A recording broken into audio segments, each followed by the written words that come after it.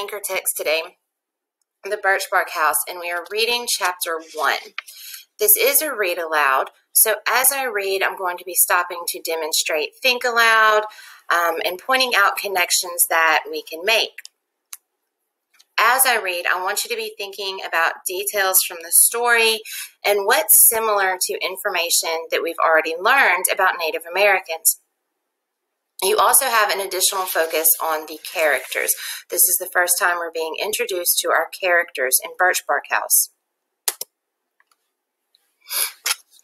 She was named Omakayas, or Little Frog, because her first step was a hop. She grew into a nimble young girl of seven winters, a thoughtful girl with shining brown eyes and a wide grin, only missing her two top front teeth. So I'm going to pause right here at this sentence. She grew into a nimble young girl of seven winters, a thoughtful girl with shining brown eyes and a wide grin, only missing her top two front teeth.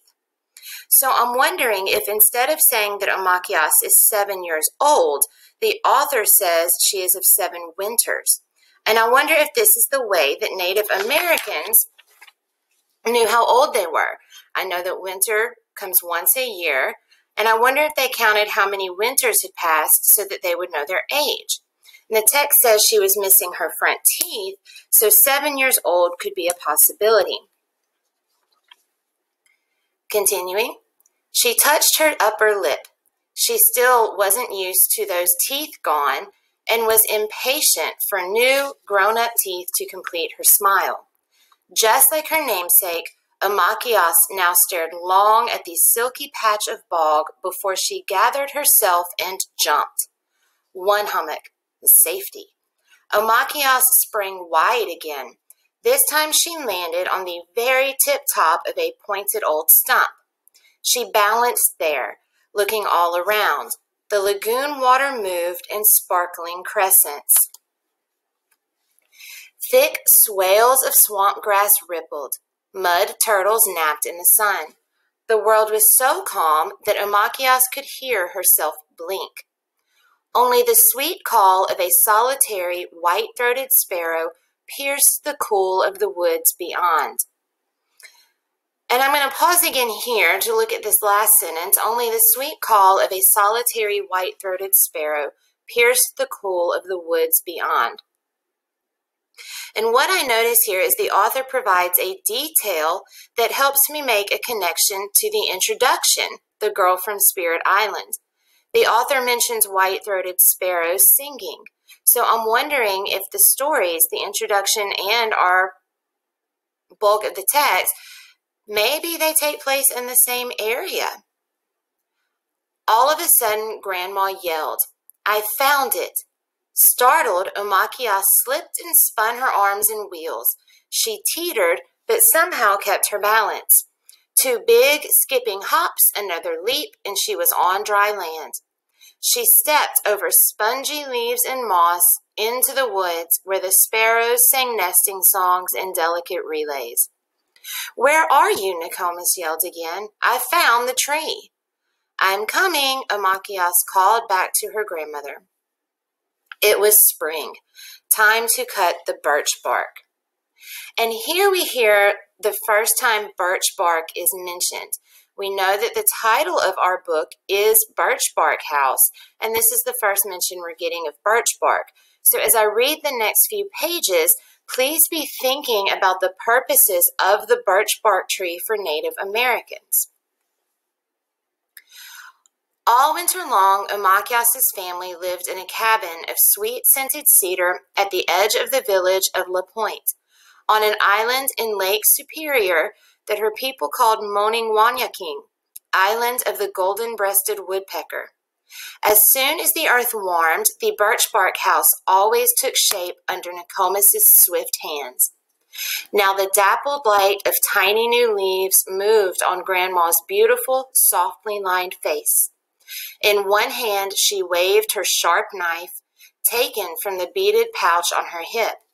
In the other hand she held tobacco. Nokomis was ready to make an offering to the spirits, or manitous. They loved tobacco. Omakayas banged the tree her grandmother had found. Yes, here, here it is, this one. Omakayas was skinny, wiry, and tough for seven winters. She slammed the trunk of the birch with a big rotten stick. Splinters of soft wood flew. Boony, Nokomis scolded. Leave it alone.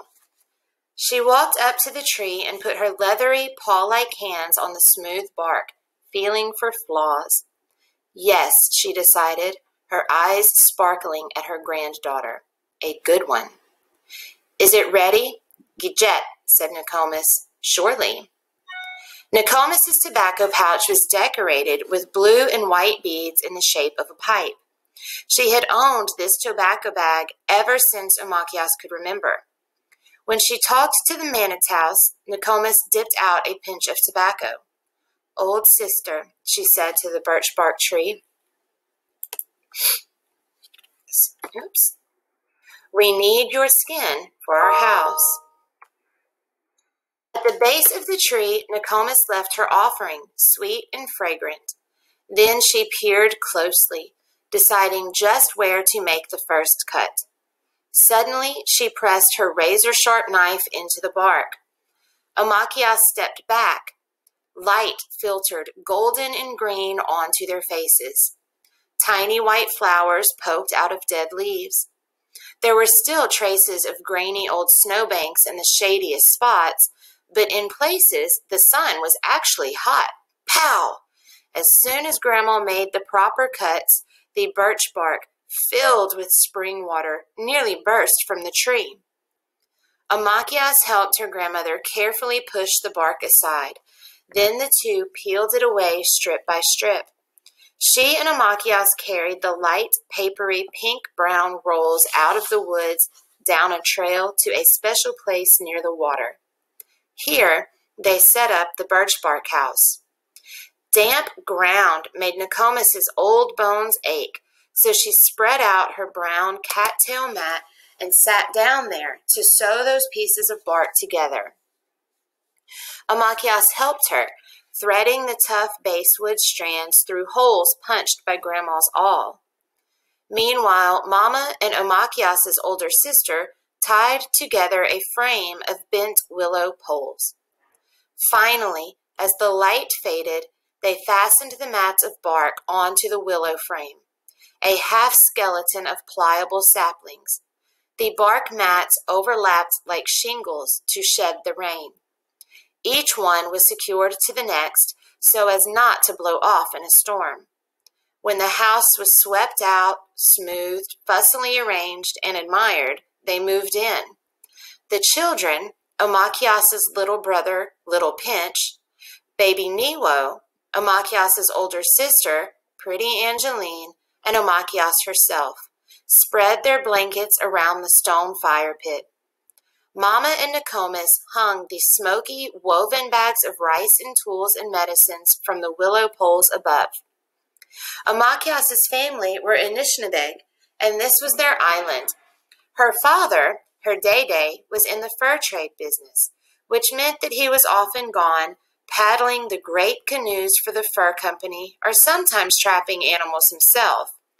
Yellow Kettle, her mother, was quick tempered but always laughing, and her eyes shrewdly took in the world. Yellow Kettle was a strong looking woman and beautiful. Her smile was generous, enigmatic, slightly crooked, and kind. She missed nothing when it came to her children. It was impossible to hide a half done job, ridiculous even to think of sneaking away in the morning before gathering wood for the fire and water for her cooking pot. And if Mama didn't notice the younger children's whereabouts, Omakayas's older sister Angeline surely would. Angeline was smart and so pretty people turned in their tracks to stare at her. Her hair was thick and her hands clever. The beads in her designs were laid down in strict rows. Her stitches never faltered. Her steps, when she walked or danced, were clear and graceful. She was so perfect that Omakayas despaired. Still, she hoped that she herself would turn out like Angeline, and was sometimes embarrassed to find herself following at Angeline's heels like a puppy. Most of the time, Angeline was kind to Omakayas and let her tag along and admire from a distance. But there were also times her words were sharp as bee stings, and at those times Omakayas shed tears her sister never knew or probably even cared about, for as very beautiful people sometimes are, Angeline could be just a little cold hearted at times. Omakayas's little brother Pinch was the only really big problem in her life. The sad truth was, and she couldn't tell this to a single person, Omakayas didn't like little Pinch. She thought there was something wrong with him, so greedy and so loud. But although his ways were mischievous and bold, Pinch loved his mother deeply, and he clung to her side. In fact, he took up all her attention, even more than the baby. He clutched Mama's skirts with fat, tough little fingers. He yelled at Omakayas if she was slow in giving up her willow doll, her little rock people, or anything else for that matter, including food, special pieces of driftwood she found, even her favorite sleeping place near Grandma. He thought he deserved everything. And I'm going to pause here because I noticed that the word everything is in italics, and I'm wondering why the author chose to italicize that word. Um, I'm going to read that sentence again. He thought he deserved everything. So there's an emphasis on that word everything, which must mean that he really, really thinks he deserves absolutely everything. When a word is in italics, we read it with emphasis. At least when it came to Neewo, there was nothing to complain about. He was so sweet that Omakayas often pretended that he was her very own baby. Of course, she hardly ever got to hold him, for he was still very young. Still, she was sure he preferred her to Angeline, and certainly to Pinch. Sometimes he even held his arms out to her when Mamma was holding him, and yelled with delight when Omakayas picked him up. As it grew dark, the family ate makuks of moose stew and fresh greens and berries, licked their fingers and bowls clean, and at last rolled themselves into warm, fluffy, rabbit skin blankets that still smelled of the cedary smoke of their winter cabin. They were glad to be close to fire, sleeping on soft grassy earth, under leafy sky, and best of all, near water. They fell asleep to the peaceful, curious, continual lapping sound of waves.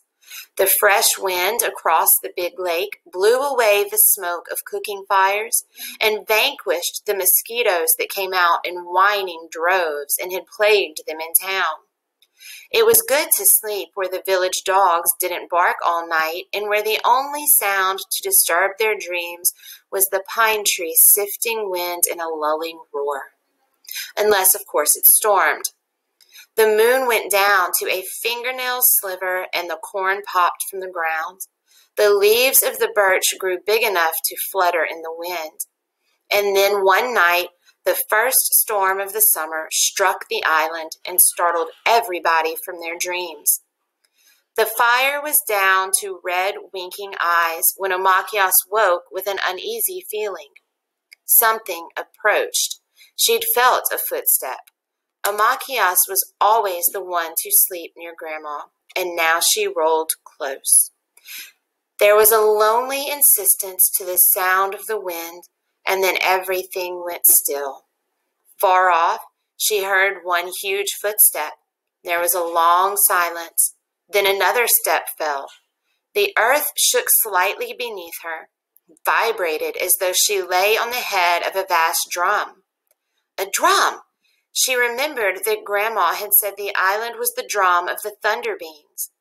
Closer and closer they came, shaking earth with their footsteps. Omakayas's lonely feeling became fright. She hid her face and tried not to think of balls of witch fire or the hooting of Grandfather Owl. She tried to keep herself from picturing Pakooks, the skeletons of little children, flying through the woods, or the icy breath of giant wendigos striding over the ground, cracking trees off with every foot crunch. Another step, another and another fell, and then the wind howled to life. Rain slashed against the tightly sewn walls. A breath of air stirred up the slumbering coals and cast shadows leaping and fighting on the inside walls of the little birch bark house.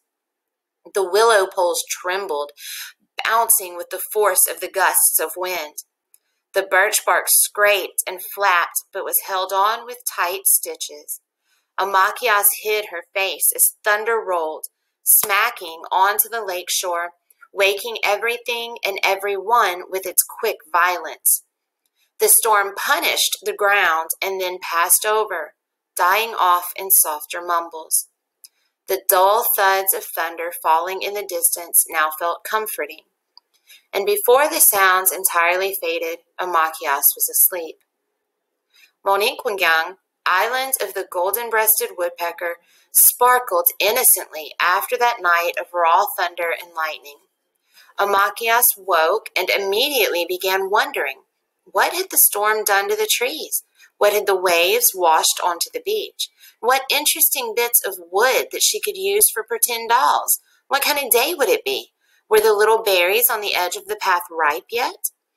An unpleasant piece of wondering came to her, too. Had her mother finished scraping and tanning that ugly moose hide, or would she have to help her? Oh, she hoped not. How she hoped. There was a saying she hated. Grandma said it all too often. Each animal, she would say, has just enough brains to tan its own hide. Mamma tanned the moose hide with the very brains of the moose, and Omakayas hated the oozy feel of them on her hands, not to mention the boring, endless scraping and rubbing that went into making a hide soft enough for moccasins.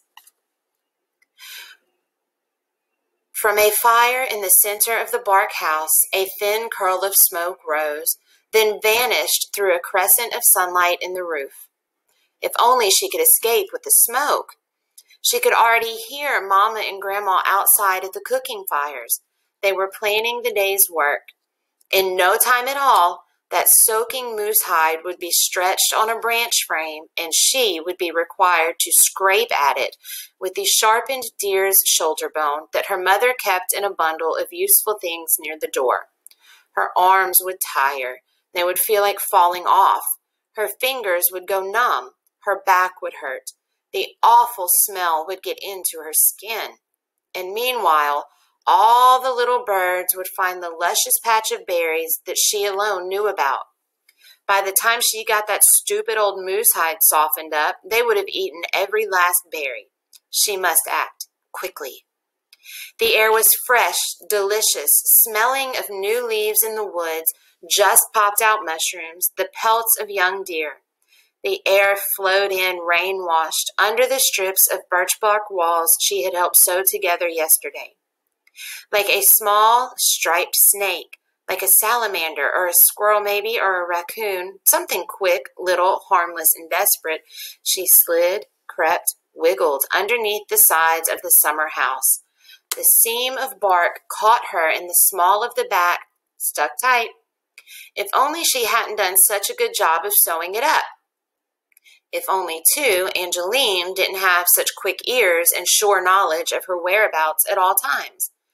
There was a firm pressure suddenly at the small of her back, still caught on the inside.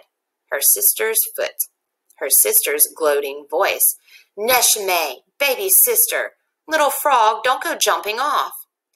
Then there was her mother, rounding the back of the house, one side of her hair still flowing down unbraided. She glanced in surprise at Omakayas, trapped, and then unable to hide her amusement, a big grin spread over Mamma's face. Her admired big sister, her beloved mother, laughing. There was Omakayas, laughter from the front and laughter from behind, and suddenly all of last night's thunder in her heart. Omakayas sat near the cooking fire and slowly, with deep inner fury, ate a bowl of cold stew. She dragged out time waiting for her hateful job to start. Mamma was wrestling that hide out of the stream now, where it had been soaking for days and nights, gathering up its scummy, woolly slime. Mamma had already set up the dreaded frame of branches, and there were strings of hide nearby that she would use to tie the skin up tight so that it could be worked. Omakayas knew how important it was to tan the skin, how her mother would cut up the soft smoked hide and sew on the winter's moccasins all summer. She pictured her mother finishing them with lovely, soft toe puckers so the girl's feet could twitch and dance. She could imagine Yellow Kettle beating them, lining them inside with the silkiest rabbit fur and pieces of an old wool blanket. Yeah, it was an important task, but Omakia still didn't want it. She finished her stew, cleaned the bowl out with sand at the shore of the lake, and waited with a sigh for her mother to ask her to fetch the deer bone scraper. Her mother said something else, though. I need my scissors. Amakia sat up, suddenly full of energy. Omakayas's mother was well known for owning a pair of scissors, and other women were always borrowing them. Omakayas's first job ever since she could walk was to fetch her mother's scissors, kept safe from her small fingers in a beaded woolen case, and bring them home. She had never failed, for it was a job she liked, not only because she was sometimes given a handful of manoomin, rice, or a little chunk of maple sugar by the borrowing lady, but because there were things to see on the way there and back. Right now, her sister Angeline was digging at the ground near spruce trees and cutting links of the roots used to secure the house better and to finish baskets. She was cheerful, humming at her work, glad to have gotten the better of Omakayas. She'd show Angeline, let her work until her hands fell off. Omakayas had a fun job to do.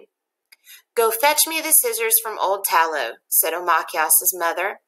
Without a moment's hesitation, before Mamma changed her mind and remembered about the help she needed with the stinky hide, Omakayas ran off.